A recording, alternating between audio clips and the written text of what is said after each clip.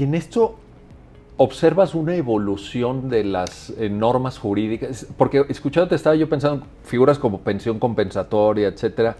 Todas estas figuras jurídicas se hicieron justo para defender a la mujer que durante 45 años de matrimonio no es dueña ni de su coche, ni dueña de una casa, ni tiene una cuenta bancaria, ni ha manejado una tarjeta de crédito nunca. Y a la hora de la separación. Y a la hora de la divorcio, separación, pues, las dejan en la calle Exacto. y evidentemente pues se tiene que tomar en consideración esta compensación de bienes. Y yo siento que, fíjate, nuestras leyes son magníficas, Miguel. Sí. Aquí de lo que ¿Crees- se que- trata... crees que Las leyes son magníficas. En términos normativos, Estamos por encima de cualquier Bueno. eh, legislación internacional. Es- la verdad es, es- que estamos muy bien. es buena noticia eso. Sí, pero somos latinos y entonces escondemos el dinero. No declaramos lo que tenemos. Ponemos los bienes a nombre de mi mamá, de mi papá, de mi tía, de mi prima y no ponemos nada a nuestro nombre. Y eso hace que las mujeres se queden igualmente vulnerables. Porque pues sí, si el señor pusiera todo a su nombre y aparece que el señor es dueño de 12 edificios, bueno, pues qué maravilla. Tenemos de dónde pedir.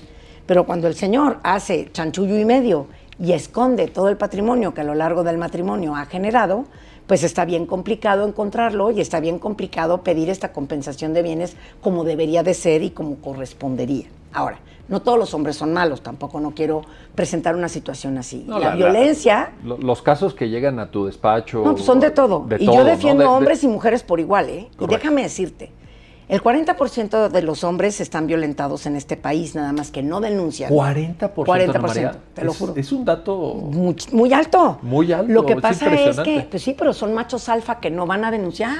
o sea, 40% Ellos se aguantan la violencia. víctimas de Sí. O no les dejan ver a los niños, o no los pelan, o les sacan la lengua, no los acompañan a cenar, no, no les hacen caso. Todo El eso está definido como violencia en la ley. Pues es que el que te ignoren es una violencia pasiva. Correcto. Sí, de, de carácter El que te dejen de hablar es una violencia pasiva. Violencia psicológica. Claro, es violencia Sí, sí. psicológica y el que te dejen de hablar es igual de violento como que te dejen el ojo morado. Lo que pasa es que el síndrome de la violencia doméstica ¿va? es un poco como el alcoholismo. Tú no te das cuenta que eres alcohólico, no lo quieres reconocer y estás en negación. Cuando tú vives el círculo de la violencia doméstica, te agreden, tú te defiendes como puedes, o te quedas callado o callada, o pegas de gritos y reclamas. Viene después un compás de espera o de pasividad en donde ya no pasa nada, o te piden perdón y te dicen que no va a volver a pasar, hasta la siguiente vez que te vuelven a agredir. Por eso se llama círculo, ¿verdad? Es un Porque- círculo de violencia porque no sales de él.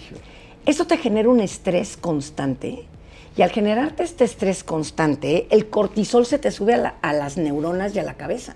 Entonces, Cuando te dicen, es que tienes que ir con el psiquiatra porque realmente no estás en tu centro, no estás tomando decisiones asertivas, porque has vivido un estrés constante por esta violencia que estás viviendo por años, Sí. la gente no te cree y dices que no estoy loco, no es que no estás loca. Es una cuestión de química cerebral No, no, y a cualquier persona le podría pasar. Claro, No, no es una cuestión pero de... su- y además en todos los códigos postales, ¿eh? Sí. Porque, ay, Sí, no, sí, porque yo claro. soy muy educada y porque yo soy doctora y porque yo, déjame decirte, entre más educada es una mujer, más tolera la violencia. Porque como plano. A ver, tenemos, a ver, a ver, claro, esto es muy importante. claro, porque Eh, como tenemos otros lugares en donde nuestra autoestima se eleva y como tenemos otros lugares donde Es- desahogarnos, ¿es un mecanismo de compensación? Es una compensación. Fíjate. Y entonces hasta toleran más la violencia. Y las mujeres que están dependientes 100%, pues se dan mucho más rápido cuenta de que están siendo violentadas. Y los hombres también.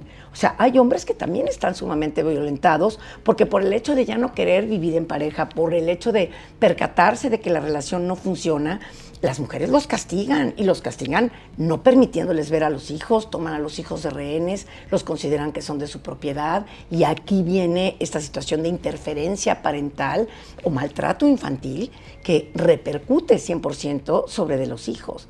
Y por eso hoy nuestra legislación contempla todas estas situaciones de la interferencia parental, del maltrato infantil, de que no se debe de permitir esta situación, porque tanto hombres como mujeres la sufren y la Y son juicios además, Miguel, larguísimos.